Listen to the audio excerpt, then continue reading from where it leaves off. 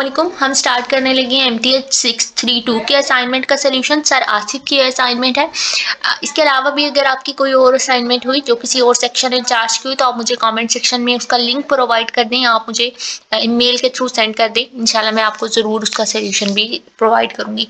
आपके पास जेड जो गिवन है क्वेश्चन नंबर वन के अंदर जो जेड गिवन है, उसके रूट थ्री ई की पावर में थ्री फोर पाई आई है. थ्री स्केयर रूट थ्री का क्या मतलब है? आर आपके पास स्केयर रूट थ्री है और जो उसका थीटा एंगल है, वो जो है, वो थ्री पाई बाय फोर है।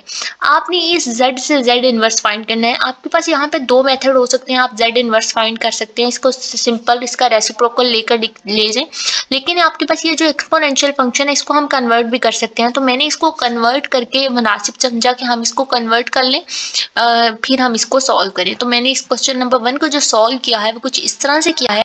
आपके पास ई e की पावर में three over four pi e की पावर में जो एयोटा एक्स होता है, ये आपके पास x है e की पावर में जो एयोटा x होता है, उसकी फॉर्म कुछ इस तरह से होती है। हम e की पावर एयोटा x x को इस तरह से लिखते हैं, cos x plus iota sine x similarly आपके पास स्केयर रूट थ्री इधर ही रहा ई e की पावर में थ्री पाई बाई फोर उसका जो थीटा एंगल है एक्स है या आप इसको इस तरह से अगर आपके पास ई e की पावर में एयोटा थीटा होता था, आप इसको इस तरह से लिखते थे cos theta plus iota sine theta तो आपके पास यहाँ पे भी बेसिकली आप थीटा की वैल्यू पुट कर देंगे। इसके रूट थ्री ऐसे ही कॉस थीटा है तो थीटा की जगह पे मैंने थ्री पाई बाय फोर लिखा।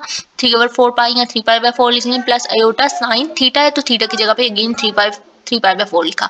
अब आपको पता है कि cos three pi by four क्या होता है और sine three pi by four क्या होता है? जो cos three pi by four होता है, थ्री पाई बाय फोर का मतलब आप three into one eighty by four कर लें तो three into one eighty by four आपके पास वन थर्टी फाइव बनता है।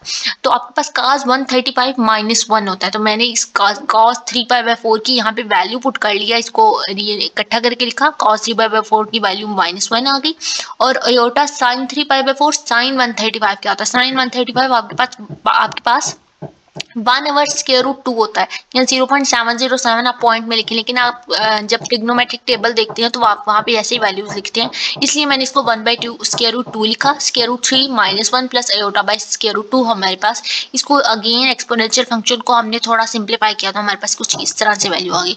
लेकिन हमने क्या फाइंड करना है? इसका रेसिप्रोकल फाइंड करना है। तो आप इसको z inverse one over z कर लें। आप इसी वैल्यू को वन अवर फॉर्म में ले जाएँगे तो आपके पास इसका रेसिप्रोकल कुछ इस तरह से आ गया। अगर इसकी मजीद सिंप्लीफिकेशन हो सकती है तो आप कर लें। स्केयर रूट थ्री को अंदर हम मल्टीप्लाई कर सकते हैं। Iota square root three by two हो जाएगा तो आपके पास मजीद सिंप्लीफिकेशन अगर हो सकती है तो ज़रूर करें। अदरवाइज़ सेट इनवर्स इतना भी ठीक है। इसके बाद जो आपका नेक्स्ट क्वेश्चन है, वो क्या है? जी अवेलुएट करें। लिमिट को आपने जेड जो है, वो वन प्लस टू अयोटा को अप्रोच करा और आपने इसके अंदर से इसकी जो लिमिट है, वो फाइंड करनी है। जेड अप्रोच करना मतलब अप्रोच करने का मतलब होता है कि जेड इतना हो सकता है। इसका ये मतलब नहीं होता कि जेड पूरा पूरा ये अप्रोच करने का मतलब जैसे हम कहते हैं जेड ज़ीरो को अप्रोच कर रहा है। इसका ये मतलब नहीं होता कि वो ज़ीरो के इक्वल है। हम कहते हैं बस अप्रोच कर रहा है, करीब करीब है थोड़ा। तो जेड वन प्लस टू एटा को यहाँ पे अप्रोच कर रहा है। अब आपने इसके अंदर क्वेश्चन को सॉल्व किस तरह से करना है, हमने इसको अप्रोच करके एक जेड फाइंड करना है।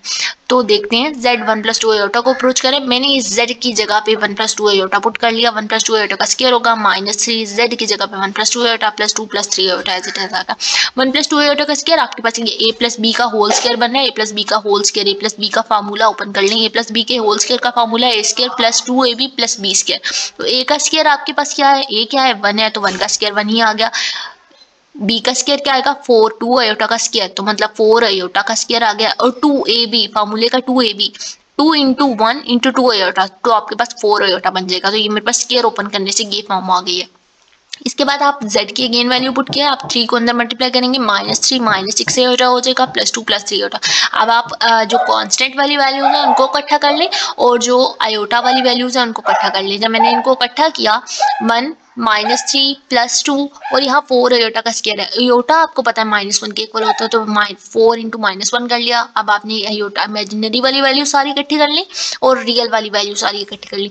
ये one minus three minus two हो जाएगा प्लस टू आ गया plus four into minus one minus four हो जाएगा। ये टू और ये टू इससे कैंसिल हो जाएगा। तो आपके पास रियल पार्ट जो है वो माइनस फोर आ गया। सिमिलरली आप जब यहाँ पे आएँगे तो आपके पास ये माइनस टू का अयोटा प्लस थ्री का अयोटा तो आपके पास माइनस टू प्लस थ्री क्या हो जाएगा? Sorry minus two plus three क्या हो जाएगा? आपके पास अयोटा हो जाएगा माइनस फोर प्लस अयोटा आपके पास आ गया। अब आपके पास जो रियल पार्ट आया है, वो माइनस फोर आया है और जो इमेजनरी पार्ट आया आप जेड को किस तरह से लिखते हैं? एक्स प्लस ऑफ़ वाई की फॉर्म में। हमने इसको बस अवेलुएट ही करना था सिंप्लीफाई करना था वैल्यू को। तो वाई आपका वन वन आ गया और एक्स आपका माइनस फोर आ गया। तो हमने इसको सॉल्व कर लिया है। आपकी असाइनमेंट बस इतनी ही थी। अगर मेरे से यहाँ पे कोई बात एक्सप्लेन करते हुए कोई गलती हो गया तो आप मुझे कमेंट सेक्शन में बता दें ताकि मैं नेक्स्ट उसको इम्प्रूव करने की कोशिश करूँ। और इसके अलावा भी अगर आपको किसी असाइनमेंट का सोल्यूशन चाहिए तो आप मुझे मेल के थ्रू बता दें या आप मुझे इंस्टाग्राम के थ्रू मुझे पिक सेंड कर दें। वहाँ पे फ़ाइल तो सेंड नहीं होती है तो आप मुझे पिक सेंड कर सकते हैं। इसके अलावा आप मुझे व्हाट्सएप चैनल पर भी जो है वो ज्वाइन कर सकते हैं। लिंक आपको डिस्क्रिप्शन में मिल जाएगा।